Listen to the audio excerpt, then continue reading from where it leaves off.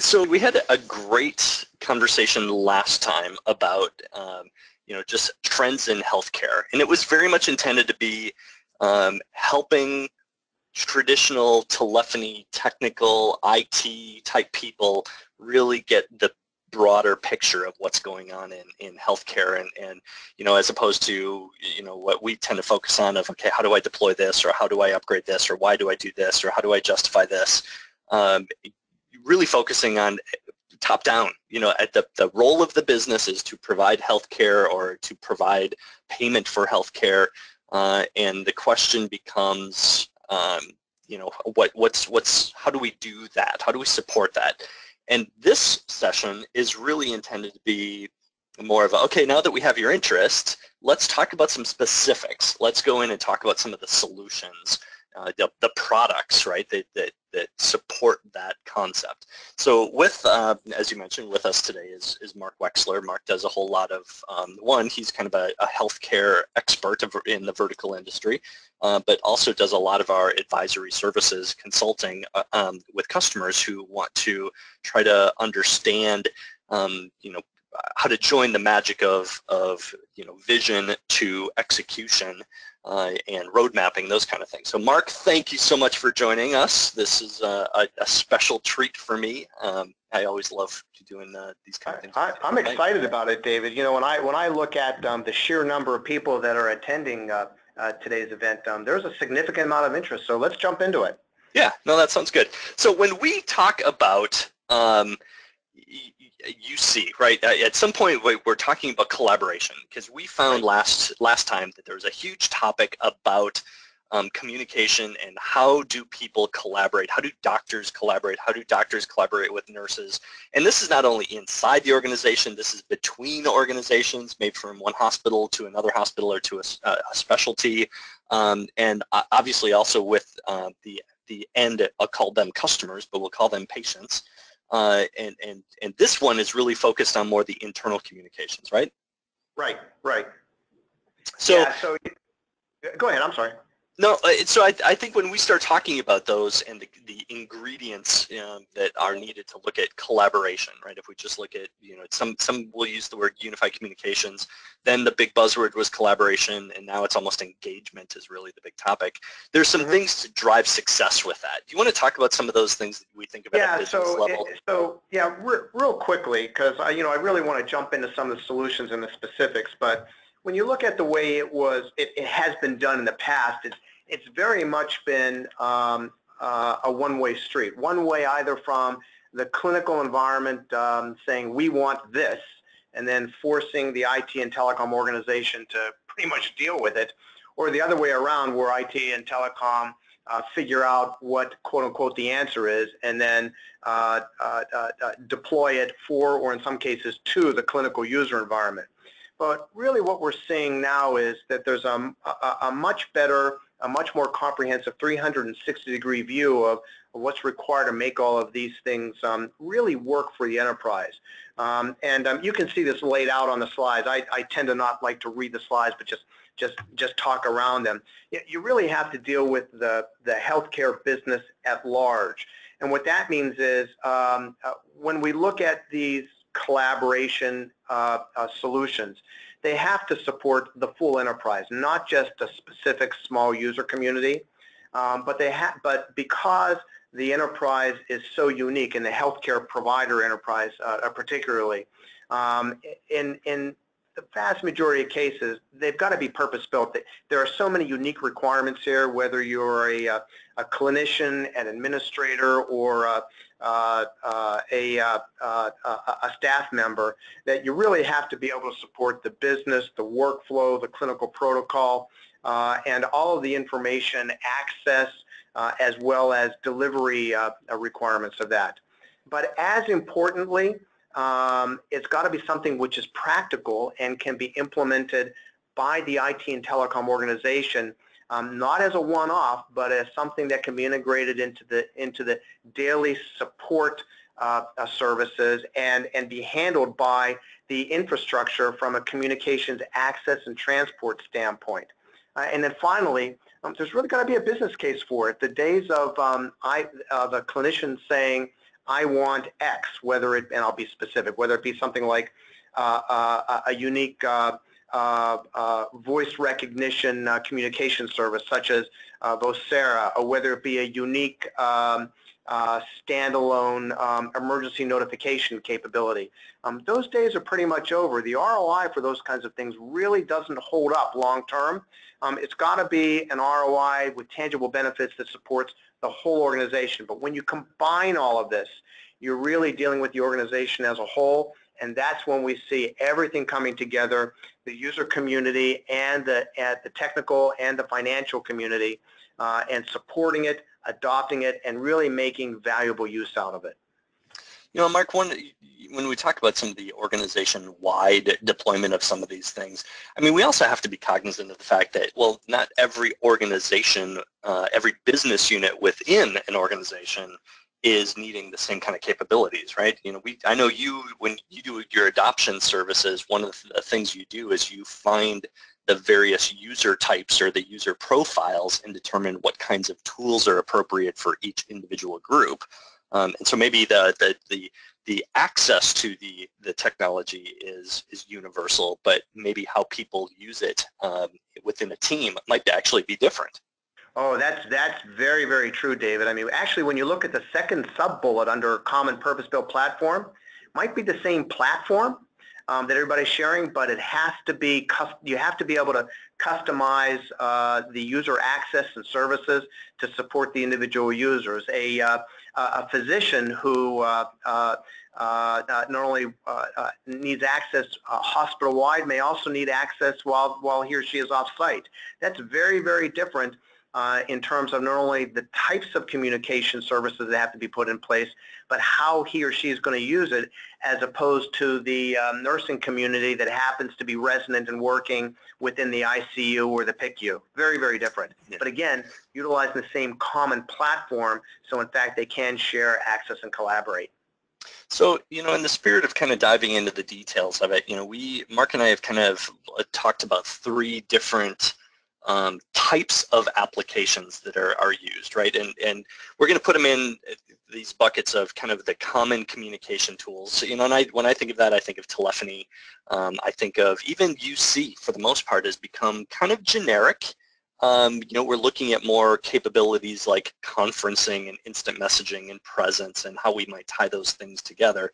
But they, they literally are very generic with a wide, wide, wide audience. Um, and from there, we'll talk about maybe um, narrowing that down a little bit where um, I need something specific for nurses or specific for doctor to nurse collaboration. And two that we'll talk about is uh, Mutare and, uh, and ASCOM. And we'll probably talk about some others in there too. And then there's a third bucket um, that is, uh, we're going to call it the next generation, but understand that that next generation actually started years and years ago um, where, uh, but I, would say within the last couple of years, some of the tools and technologies have caught up to make um, make it easier. Whereas before it was all, boy, you've got to you've, you've got to not only understand your business, your workflow, but you also have to understand all the individual protocols, um, and the integration pieces were really, really hard. Um, but that's changed. Um, so now the ease of integration is almost um, you know, well, I'll call it the easy part. Um, and now it's really going back to more understanding the workflow. But doing workflow um, and, and thinking of that as the communication, not so much the phone call that might go back and forth. That allows us to go from person to person, person to machine, machine to machine, um, because we're, we're making it in a way the technology is more generic, um, but giving a whole lot more flexibility in how we do that. You know, David, as, as I think about all this, um, it, it, occurs to me that the common communication tools um, are really today's baseline. Um, the, the things that um, one should expect uh, out of their uh, out of their quote unquote standard communications uh, uh, telephony platforms and then how to take best advantage and use of them. Um, the well-known application suites and middleware are some of those um, now commonly available purpose-built platforms that I that I mentioned uh, a few minutes ago. But what really catches my attention now is the next generation services. Um, and the subtitle to that, in my mind, is next generation services that are now practical. Yeah. Um, so it's not new and bleeding edge anymore. Right. It's just the stuff that, boy, we can really do this now. Yeah, I would agree with that. I mean, that's the, yeah, it's it's next generation from the standpoint of a lot of people are still oblivious to the fact that it exists, but it is not new and bleeding edge to your point. And and so that's it's a great way to kind of go from somewhat generic because we live it and breathe it. You know, we're all dealing in quote unquote PBX, uh, but then how do we get more and more narrowed down to some custom solutions. And so when we, you know, I, am going to take kind of this first section of, you know, talking about the traditional telephony. Um, and, and, you know, I, the first thing I think of when I think of unified communications, when I think of collaboration and engagement are the components that these things need to, to, to have. And I, I've been using this list as a kind of the, the litmus test um, to see do these solutions meet a true unified communications approach. And the first one is it's got to be user-centric. Um, and, and that sounds like a, well, duh, um, except when I tell you that most telephony teams don't think of their people as human beings or users. They think of them as extensions. Um, and, and, so you add an extension. You don't add a user, you add an extension. Um, and that has to change because as we talk about some of these other technologies that are coming, where I can have me logging into several devices at the same time. I still want my own identity, and it's now me as the, you're calling me, and I get to choose where I answer it, or how I communicate it, or how I respond. And so this, the, the, the movement is from extension-based administration to user-based. Um, and you know, from it like an Avaya perspective, which I know a lot of people on this call have, um, this is where we start looking at system manager and we start adding users who have an extension. It's not that like extensions go away. It's just the center point is the user, not the extension. But then we start talking about things like presence, and that could be something as simple as the old school busy indicator. But again, what good does that really do you, um, knowing that Mark's light is not lit up because he could very well be, um, you know, in a meeting. He might not even be sitting at his desk, and the the idea of of a light being lit representing your availability is ridiculous. And so now we have to start looking at all of the ways that we might determine are you truly available and in what ways, which is the next one, a modality, talking about, well, what are the, all the different ways that you can interact? And then recognizing that, well, if you're on a hard physical phone that has certain limitations, um, what user experience should you expect uh, when you start looking at maybe a smartphone like an iPhone or an Android? Um, or you go from a phone small user interface to a large tablet interface. How does the context of that change? Uh, and, and what's appropriate to have similarity and connectedness and what's not? mobility, Mark hit it on the head of everyone is expecting to be functional, um, not just when they're sitting next to their telephone. Uh, and so, you know, one, to make sure that capability exists outside of the prem, um, you know, out in the network, out on the floor, whether you're truly mobile, um, but a lot of people are, I, I'll use the term portable, right? They're fixed, but they're fixed in a different place. Maybe they're fixed working from home. Maybe they're at a they're traveling and they're in an airport. So they're not literally moving around like a nurse might be 24 hours a day. Um, but it's it's how do we define that? How, ultimately, how unrestricted are you? And then there's always the magic one that says, well, what about preference? And we find that you know most companies have gone through a transition where they start by saying everybody has a hard phone, and then they say, well, nobody wants a hard phone. Let's give them all soft phones and then they realize, well, that was a bad choice because not everybody wants a soft phone. Um, not everyone wants to use their cell phone to have long conference calls. Um, and so you very quickly realize you need all of those and you let the end user choose. As long as you can say, I am unrestricted, um, now I get to use it how I need to. And I think it doesn't mean every single user has to be custom. Uh, what it means is um, every group or worker type should have the choice of how they want to do that. And so again, I'm going to talk. Can you, yeah. stop, can you stop there for just one second? Sure. Um, I think one of the really important factors here for the healthcare community community um, is the fact that um, for the more the more important things relative to the user, such as presence uh, and uh, and preference, um, the user, the physician, the nurse, the uh, respiratory therapist, the administrator, whatever, can really make their own choices in terms of are they available, are they away, um, how do you how do you prefer to uh, be communicated with at any given point in time?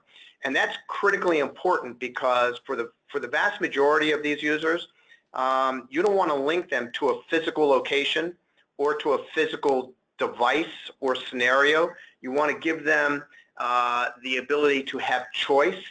Um, and I think that in the next couple slides, if, if you keep that in the back of your minds, um, as, as David, you go through some examples, um, it will become really clear as to how you can take some of these really basic services and with just a little education and, uh, uh, uh, and uh, assistance to help the user community understand how they can manage, how, how they have the ability themselves to manage their access uh, and services. Um, uh, this, this can become a real productivity and efficiency boon for them. Well, and I, a big thing that you commented on right there was, you know, the again that flexibility and preference, and what we uh, what we run into is, you know, you, you, specifically you said letting the end user manage their availability, and that becomes actually traditionally has become a flaw of the system, right? Because you have to manage your availability. You have to decide whether you're logged in at this device or that device. And in the old TDM days or even the um, the IP-based TDM days, we'll call it H.323 phones, you could only be logged into one device at a time, which meant you had to really work hard to tell the system where you were and what you were doing. And I think that was one of the biggest flaws of, of that technology in that generation because nobody did. Um, it, it became hard. And mm -hmm. so one of the big changes, technological changes that happened is SIP, and the architectures that we look at are, you know, specifically with Avaya even, are, are the ones that say, hey, I can be logged in all these at the same time. You don't have to think about how you're going to communicate. You can just be there. You can just, it that's a given. It's there. So the management of all of that becomes significantly easier than it has been in the past, and that's ultimately going to drive adoption. Uh, so simple that even a doctor can do it. Yeah, exactly. So some of the tools some of the tools that we think of, you know, related to that, um, I, again, I, I'm not stating some brand new things, right? We're talking some of the typical desktop clients that exist. The one you're probably familiar with, um, if you're a Microsoft shop, is going to be something like Skype for Business, right? Where it is, um, it has its roots in instant messaging and presence.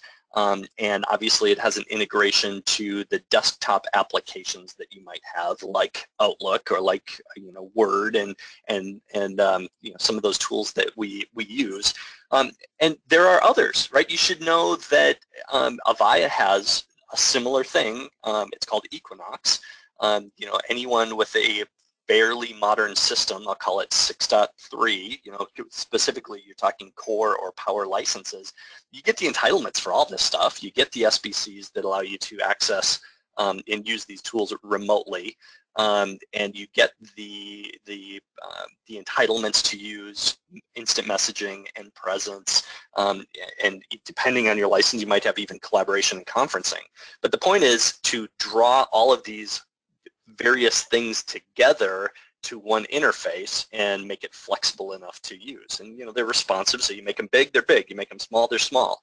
Um, but you know very similar. So in, integration to your meetings. One thing that I like about Equinox is is that ability to to see um, your Outlook calendar or your Google calendar directly from within the app.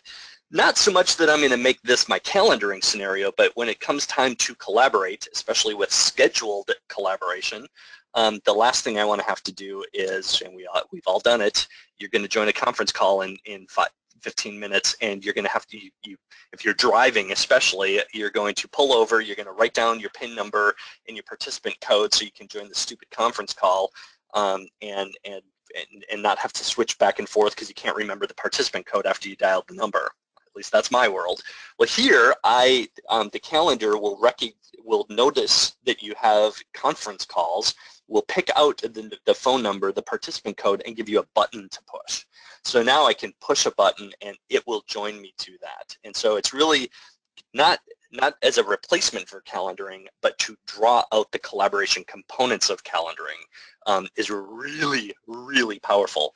Same way with instant messaging, right? Being able to go back and forth and handle conferencing, all that kind of stuff. Your history, we're seeing more and more of the Avaya applications centralizing their call history.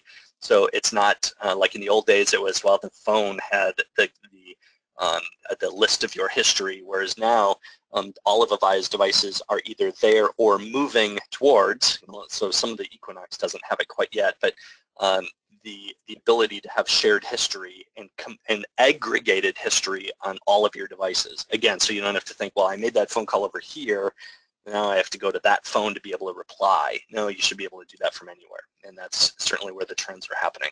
But uh, since I think a lot of people probably know the capability or functionality of, of Skype for Business, you know, formerly Lync, formerly, gosh, we go back to live communication server, right? It's been around. Um, I wanted to focus a little bit more on the Avaya kind of capabilities.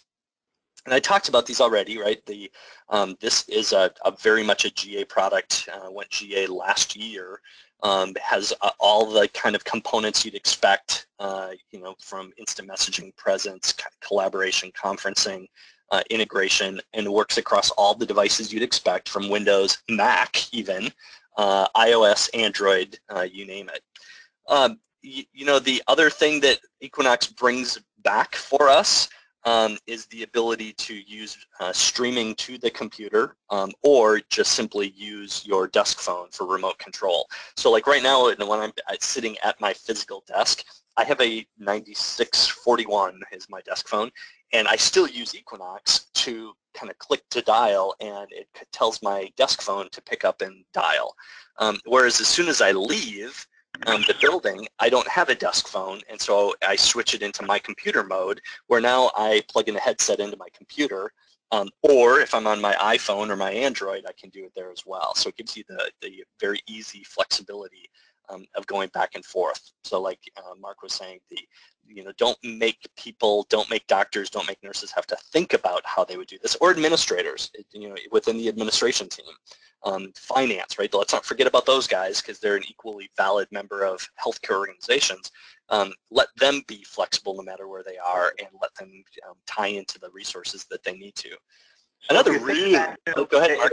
David, if you, if you think back to um, um, the very first slide, uh, when I was talking about the fact that um, in order to be successful in this environment for the healthcare providers, one of the critical things is you need a common platform. But that common platform's got to provide the flexibility for the user to work their way, so to speak. Um, it's only been within the recent past, um, when you look at everything that, that you've just gone over, David, that uh, even from a UC environment, we really, we, we now really can deploy and roll out that common platform, but the true device independence um, and functional flexibility that's necessary to allow the users to work their way. And in the healthcare environment, uh, particularly um, uh, the provider-focused uh, community, that's critically important because you can't force them um, to quote-unquote adopt a specific device a specific and a specific workflow. They're going to do it their way um, uh, as a function of what they believe to be most practical and most and uh, most easily accommodated. And this truly does give them that tool set to do it with minimal education, with minimal resources.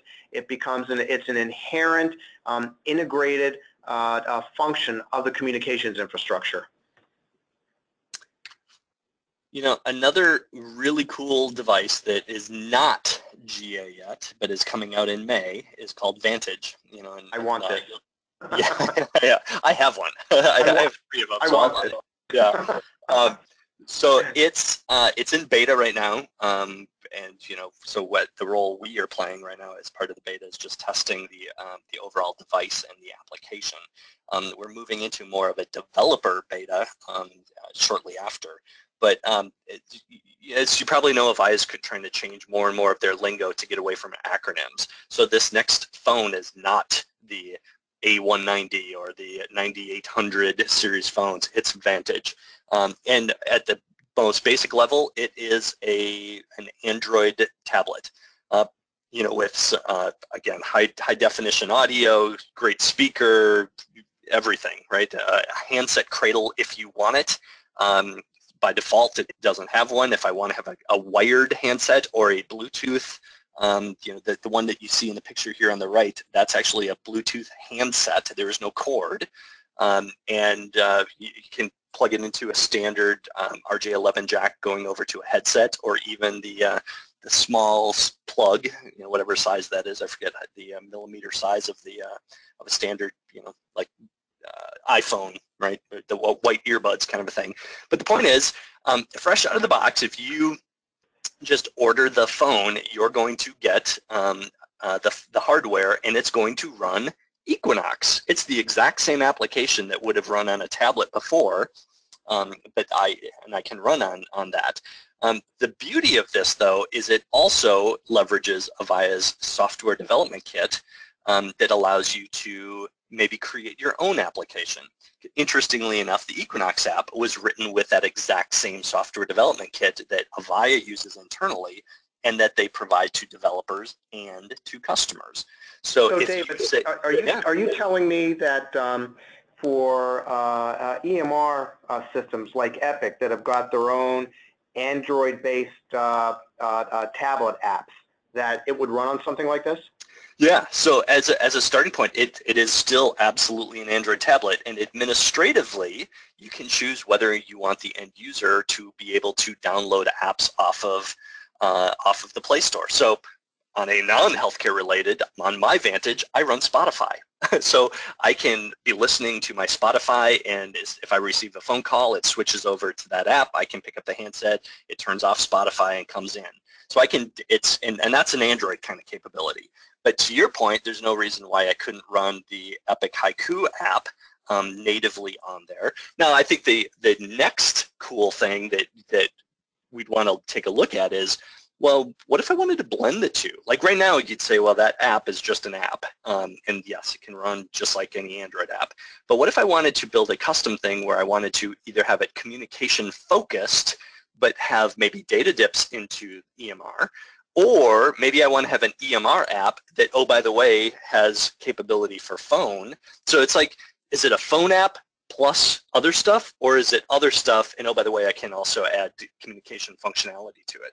So, so I, can easily, I can easily envision um, a use case that says a physician's looking at a patient medical record and and wants to uh, conference another another physician and to uh, discuss particulars about the uh, patient record. And as a function of making that phone call, this pops up on the screen. The the the, the medical record pops up on the screen. Am, am I on track here? Yeah, yeah, and, and, and again, a lot of the question is whether or not you wanted to use the native app that the manufacturer provided, in that case Epic, um, or if you wanted to create something else. But I, yeah, what we're interested in is is the the customized development of uh, of an Android app that would run on Vantage that would do the blending of both. So even in a non, right? Think of your administrators. Think of us as individuals. Um, the trend right now that I, when everybody I talk to says, if assuming you're not part of a communication workflow, right, where you have to answer the phone if if it rings, um, most people will say if they if someone calls them and they don't recognize the caller ID, they don't answer the phone. Um, they let it go to voicemail and then they check the voicemail and decide if they want to reply back. Um, the problem is, and we're all that way, I find out, um, is what if what if my kids call me on my desk phone. I don't know their cell phone numbers. As long as they call me on my iPhone, I get a, I get a screen pop. I get, hey, Ben's calling. Here's his picture. Look, here, answer the phone. Well, this um, device and the specifically with the software development kit that Avaya provides uh, would allow you to create an Android app that maybe when somebody calls in, I go do a LinkedIn lookup and I say, oh, Mark is calling me um, here's, uh, even though you don't recognize the phone number, he's registered his phone number in LinkedIn. I do a lookup and I see that, oh, there's all these um, interests that we have. There's, um, he's in this business. Um, we have 17 mutual friends. Um, and now all of a sudden I'm getting what I would traditionally have thought of as a call center thing, right, with a screen pop, but I'm a normal human being. I'm an average user. And those are the kind of things that I'm going to be able to, to build uh, with the Vantage.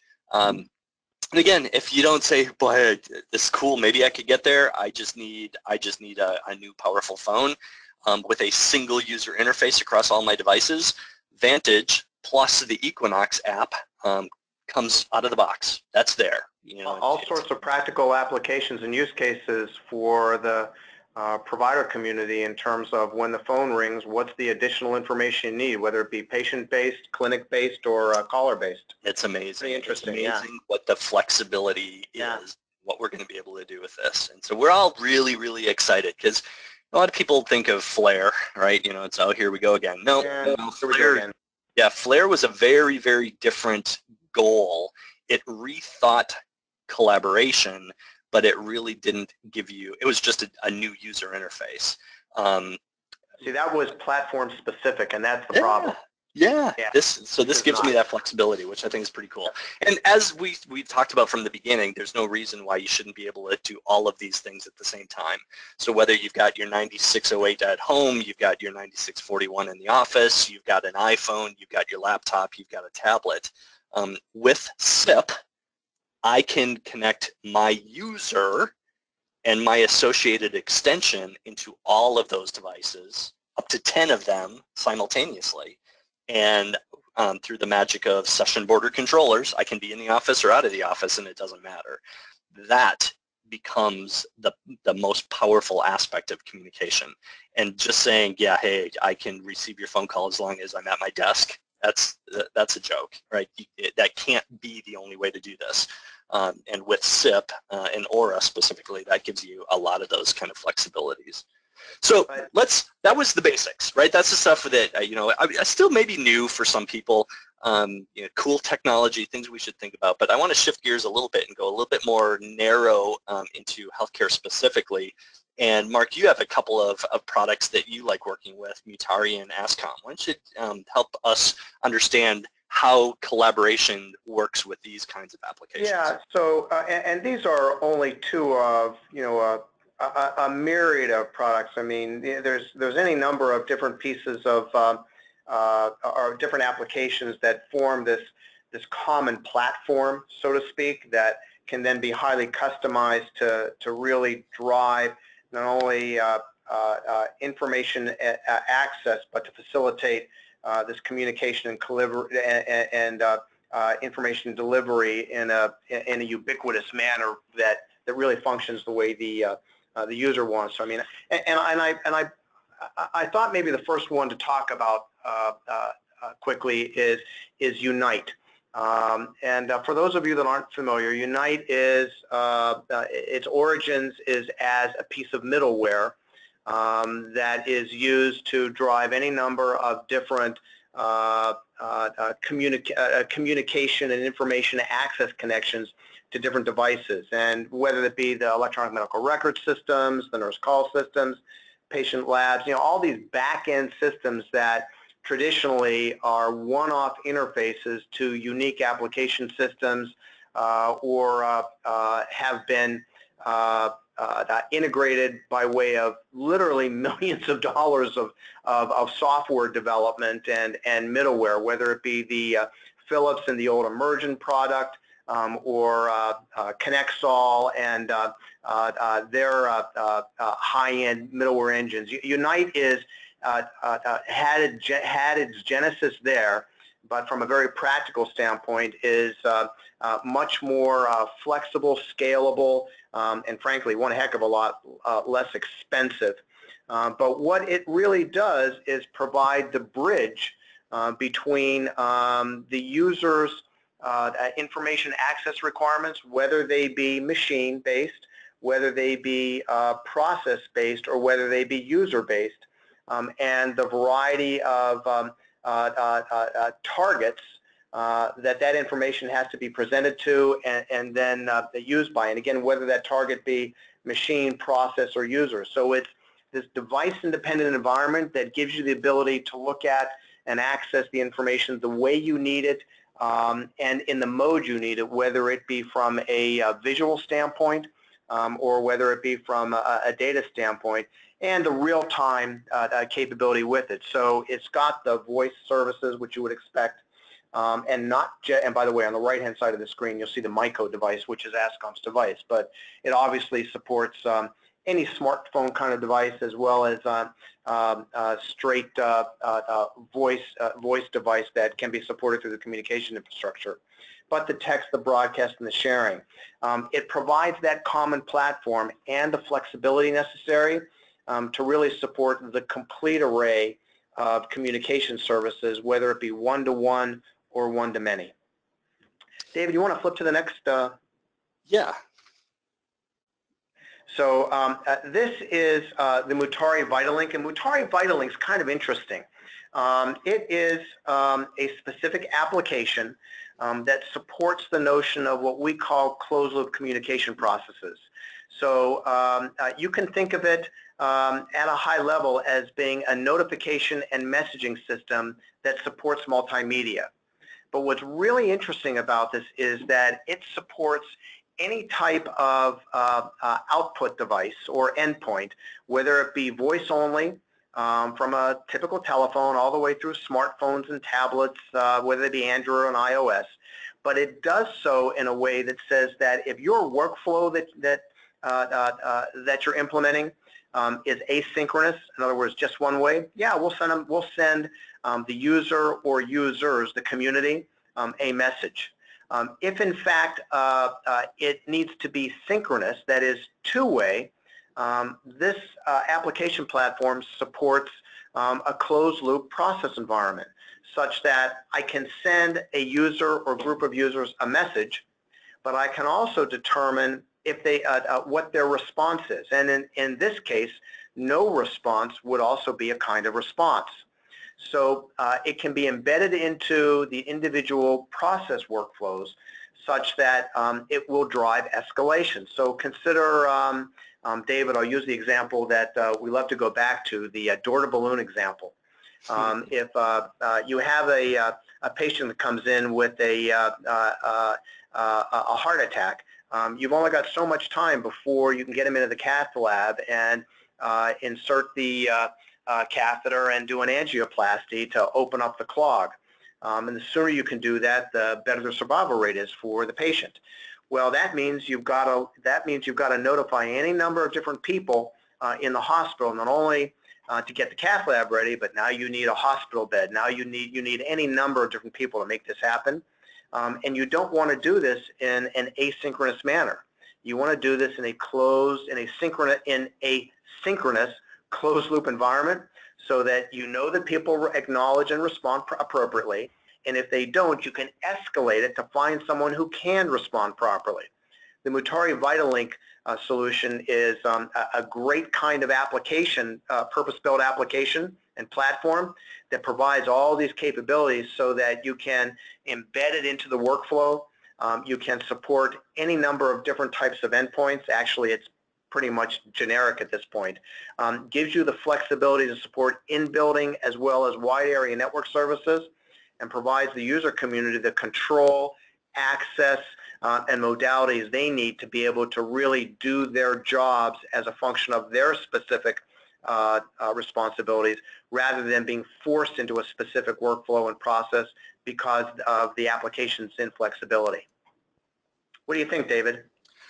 Well, and I, you know, when I think of these applications, right? You know, I, I am like, hey, it looks like instant messaging and presence, right? You know, and and uh, sort of, but it's on steroids. Correct. Well, and I and I think that's just it. Is you know, we, you've even kind of labeled this as still traditional applications because in a way it's a lot like Skype for Business and a lot like uh, Equinox, but it is very focused. And I would imagine the advantage of that is well, it's custom tailored.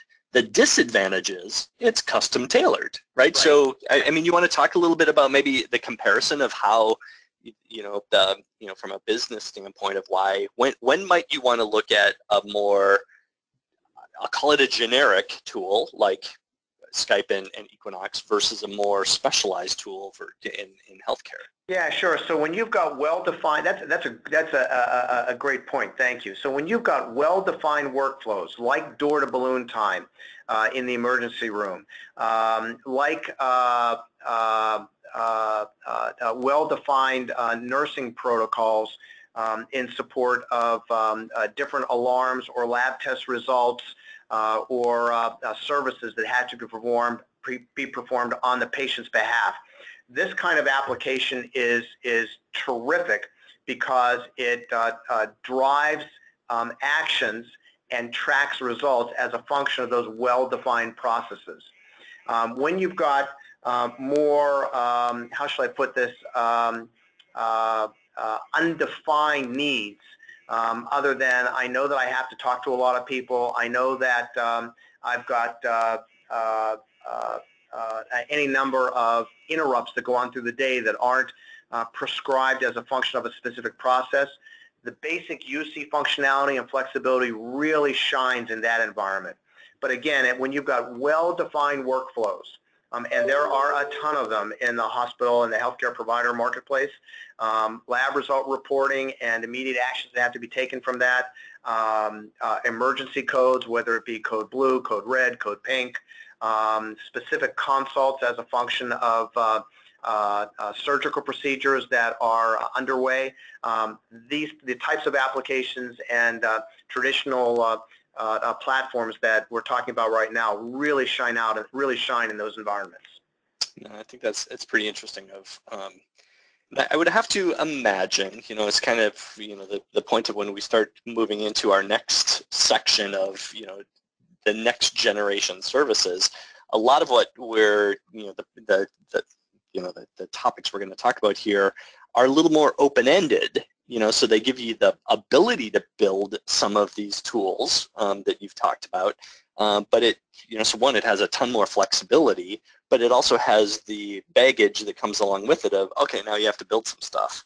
Um, and whereas, you know, these are kind of, they're, they're shrink-wrapped applications for a commonly used set of workflows. Um, and I, I think would, for a lot of companies and a lot of healthcare organizations, it probably fits beautifully. Uh, well, David, I was, I was just about to say, I think that there are some perfect fits here, and people will be able to see as we go through it because um, the one thing that you've got to consider through all this is ROI. And uh, the traditional applications that we were just mentioning, they're really expensive. Um, though they fit a large audience, a lot of what we're about to talk about, I think, um, uh, when you look at it from a point requirement, the ROI becomes overwhelming. So let's let's go through it. Yeah. So when we talk about next generation services, um, you know, and, and, and very specifically, I'm talking about thinking about workflows, and I'm thinking about ways to automate uh, and even augment human interaction. Um, and, you know, and, and, a good example of, of augmenting things. You know, we we have a lot of a lot of customers across all verticals who have it in their head that if they want to provide the best possible customer service, it always involves making sure that people can get to a human being. Right? They always say, I don't want to do an auto attendant, I don't want to do an IVR because I want them to get right to a human being. And mm, what we're finding, more and more people are saying, oh, wait a minute, you're you assume that that human being is going to be as good as a computer will be.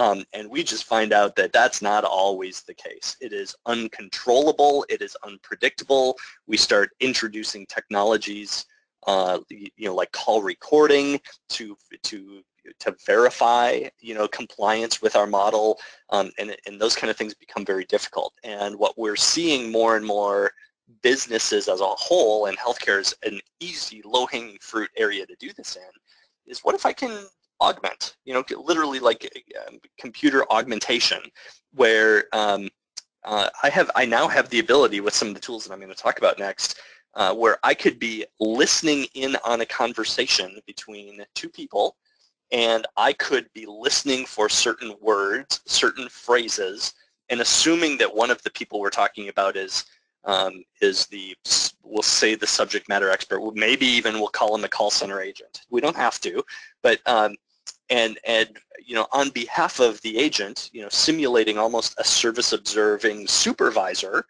the system could be listening for uh, words like account balance. And on the quote unquote agent screen we could automatically pop up a message that says hey I don't know if you just noticed this or heard this but your caller just asked about their account balance. Click here and we will send them their account balance uh, via text. That's an extremely doable concept. Um, and in the old days, it used to be hard, and you'd have to buy pre-packaged bundles of software to do that. And these are now things that I can do within this kind of next generation service. And I'm going to very specifically talk about Avaya Breeze um, as we come in and do that.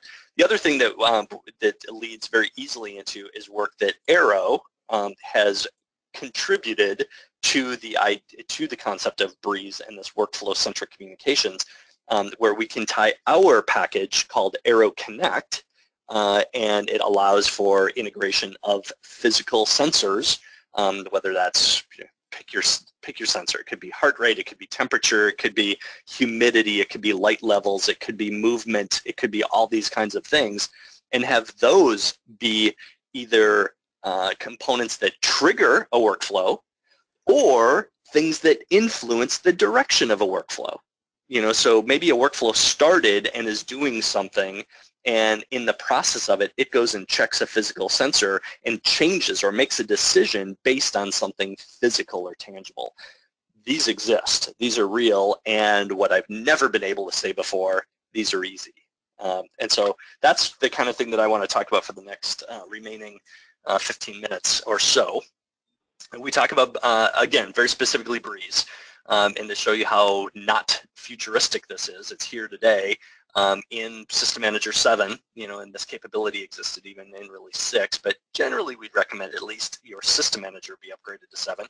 Um, we can go ahead and you'll, you'll see a Breeze icon in here, and I can click into that, and where it takes me um, is an option uh, to go into what's called the Engagement Designer.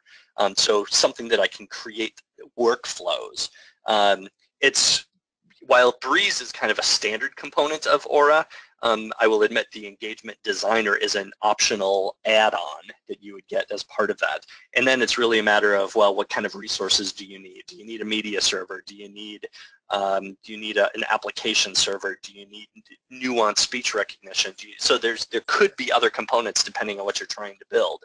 But I want to give you a, an idea of how this all comes together because it's pretty amazing.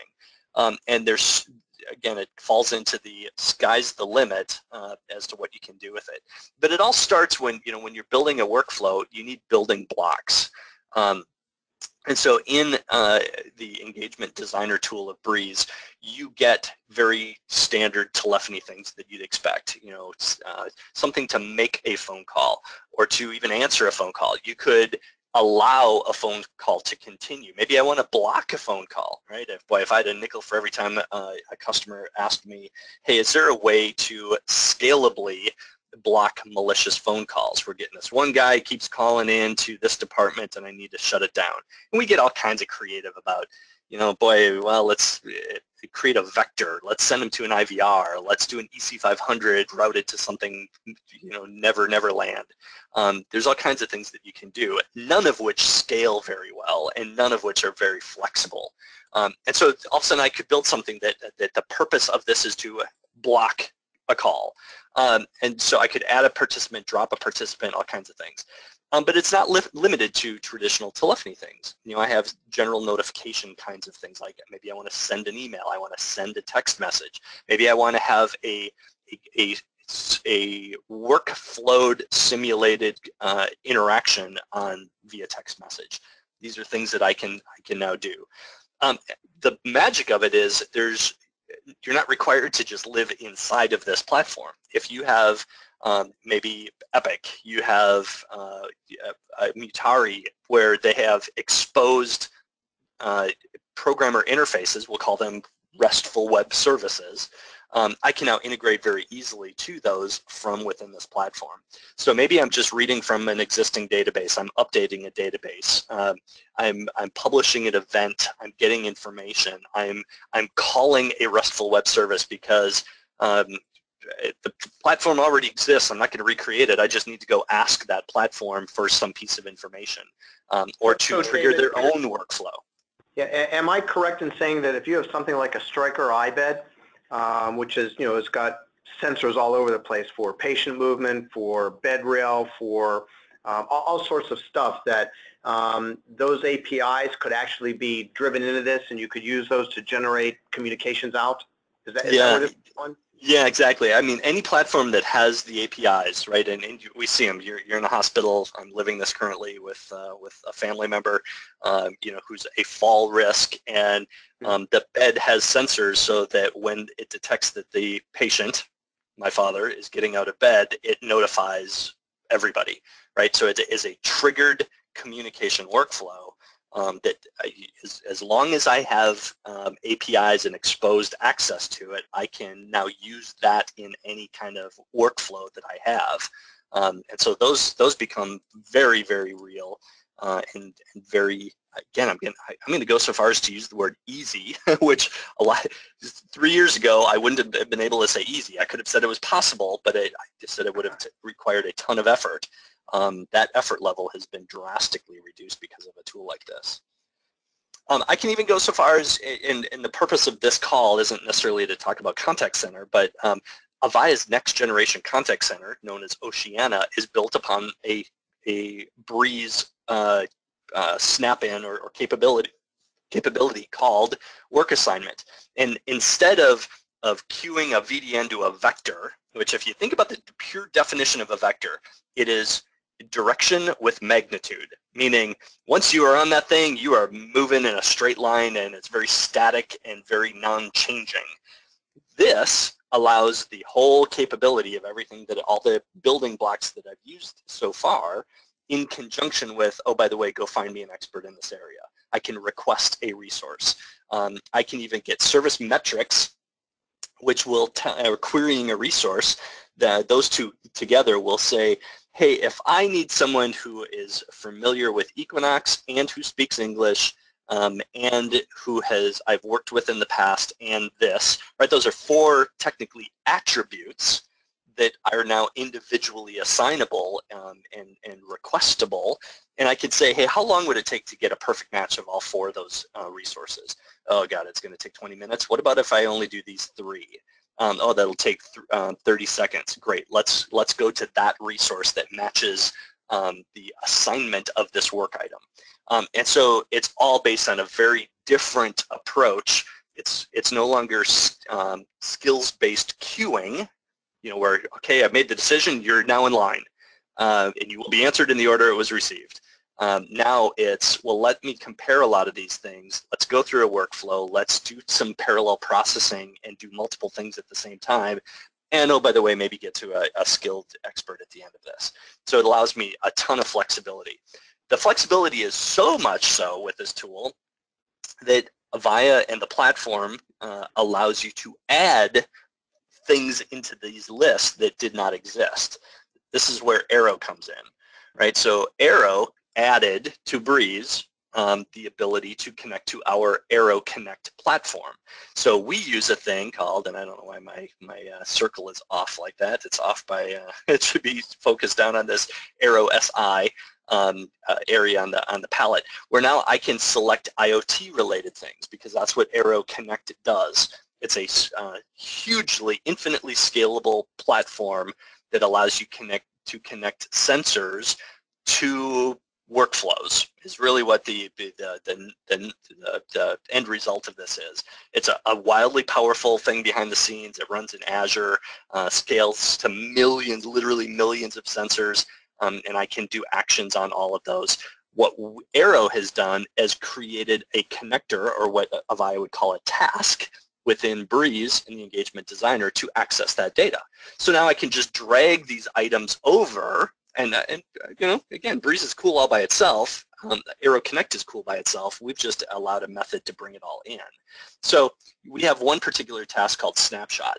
Um, snapshot is just, hey, once I authenticate the sensor, uh, you know, and there's uh, a, a, user authentication uh, or uh, authentication token, we call it, as well as a device HID token um, that tells us securely and encrypts the traffic of okay what am I what what data am I pulling um, from a sensor. And it just depends on the sensor. Maybe it's humidity temperature heart rate light UV longitude latitude. We have one that can detect the position of the sensor, whether it's been tipped on its side or, you know, just like um, anybody who plays video games, you know, the PlayStation or most of these have these six-axis controllers where it knows what orientation it's in. It knows where it is in three-dimensional space. Those are just sensors. Well, the beauty is um, Arrow has made the values of those sensors available to, in, specifically in, in partnership with Avaya, to tie into Breeze. I can also do trends. Like maybe um, when I pull Mark's heart rate to determine if I need to initiate a workflow, I get a value of four. Well, either Mark's dead or I got a bad reading. So maybe I should go back and say, well, hey, what, show me the last two minutes of his heart rate and give me an average of those, or give me a trend. Give me, is it rising? Is it declining? Um, what's going on? And so without having to program all that math, that math is built in for some basic statistical analysis of sensor data. I can also do device control. Like some devices out there have lights and they have buttons and they have displays. And I can not only read things from the sensor, but again, depending on the sensor and the, the device itself, maybe I can tell it what to do. Maybe turn the sensor on, maybe turn it off, light up some lights, etc. Um, and lastly, we created an integration to a ticketing system. Um, specific, you know, we use it as Arrow Insight. Um, Arrow Insight is the, what am I going to do with the data once I get it from Arrow Connect, so it goes from Arrow Connect to Arrow Insight. Um, but that could be something as simple as ServiceNow, so that maybe as part of some workflow, I need to open up a trouble ticket, and rather than have um, wait for, waiting for a human being to submit a ticket um, to get something fixed, well, why wouldn't our workflow generate it? Um, and you'll see some examples of how I might use this. And so I've got a, a number of different options we'll fly through very quickly. Um, that these are real, they work, I, you know, they're, they exist. One is a nurse call hotline where maybe the use case is the patient needs to um, connect in with the doctor once a day to um, to provide data. In this case, maybe it's heart rate. So they call in, I play an announcement, welcome to the nurse, uh, uh nurse call hotline. Um, please put your finger on the heart rate. So it, we wait a certain amount of time, we collect the data from the sensor, we update the database, and oh, by the way, um, if their heart rate is, is within reasonable numbers, we play an announcement saying, thanks, we'll see you tomorrow, goodbye. Um, or we go in and we say, um, hey, your heart rate's a little high. If it's okay, I'd like to have you talk to a nurse. And we allow the call to go through a normal, you know, nurse call hotline kind of a thing. Um, maybe, you know, to Mark's point, we've talked about door to balloon for a long time, but the integration points have always been really hard. Um, so now what we can do, you know, we have something where, okay, maybe a nurse triggers the workflow by calling into something. Um, do we update the database of the information about the patient? Um, we go into an existing on-call directory um, that says, go find me an available anesthetist. And oh, by the way, if it takes more than um, 30 seconds, or you know, let's, which by database it should be more like 30 milliseconds. Um, if it takes longer than that, and that's what this time boundary icon is, um, automatically open up a trouble ticket. So the system will say, this took too long, go notify the right people automatically and get an, the available radiologist and get the available cardiologist. Um, maybe I need to uh, reserve the room, um, you know, through an, a, an existing platform. So I call a RESTful service uh, for somewhere else to, to maybe reserve the bed. I start sending emails and text messages to various people, getting a response, a closed loop confirmation of whether or not they're able to do this um, and join in. And again, what you don't see behind the scenes here is um, this I can provide it a multitude of emails, not just the one. So it's I, I, I, get a list of all the available resources and then send them all an email, send them all a text message. Um, so David, what closed loop response?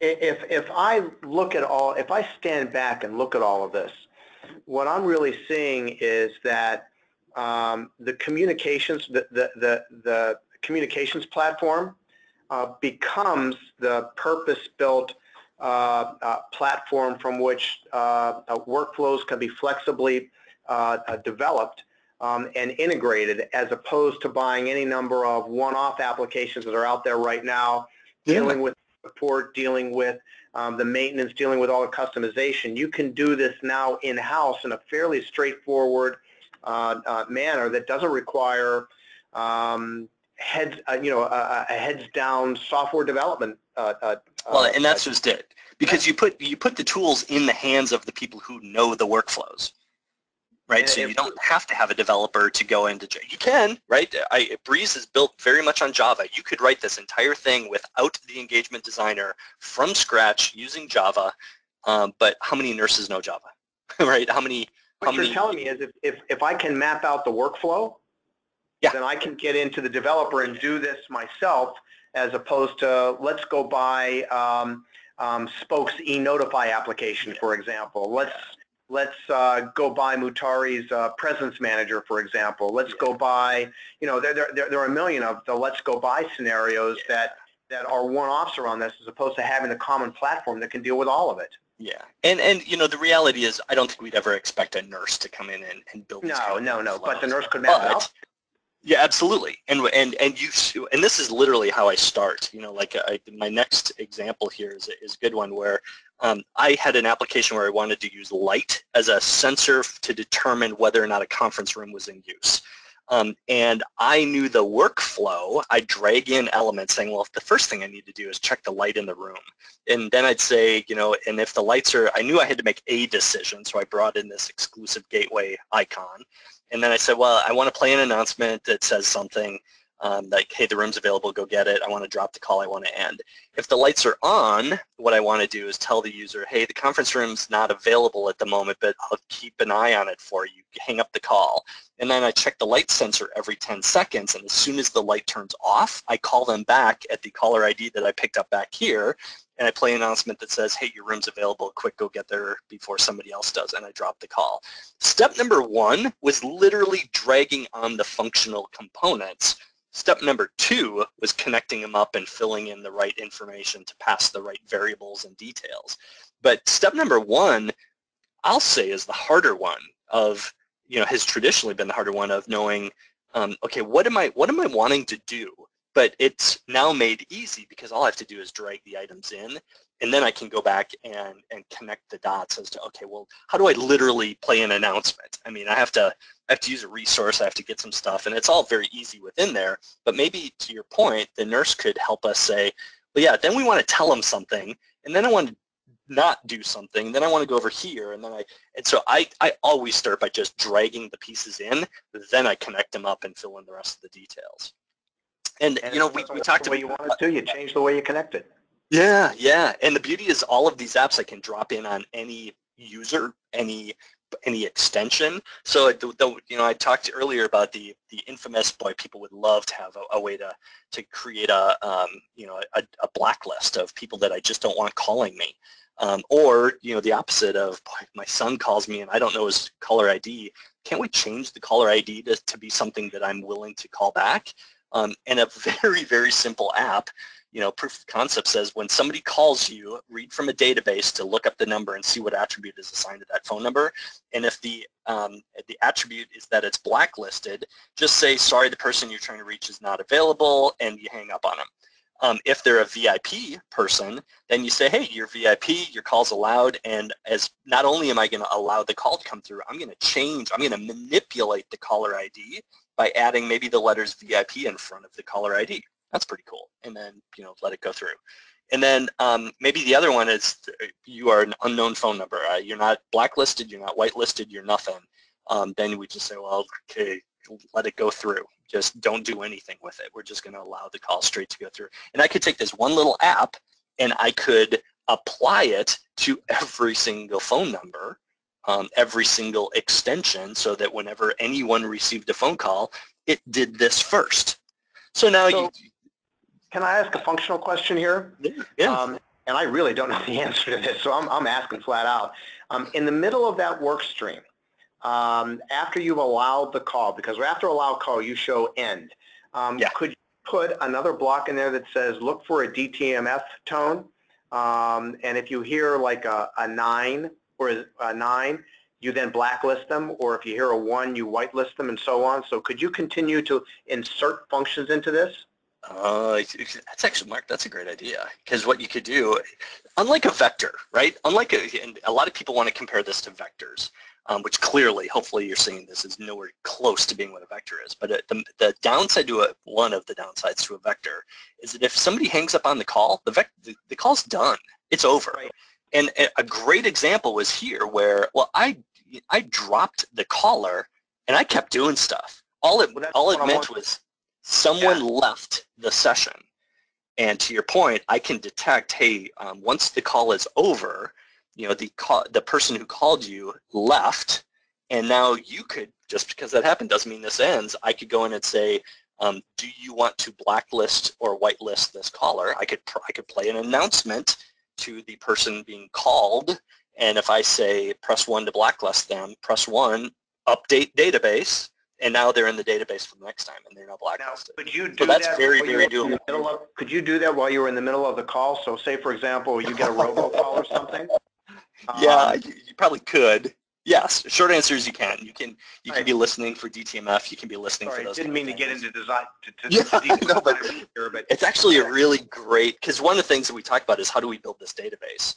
Um, you know, I'm saying I'm reading from a database. Well, you want it to be flexible enough, right? And so you'd say, well, I have to, I'll go build a database, and this is where some of the actual heavy lifting might come in. I probably need to create a web portal that a user could log in to administer it.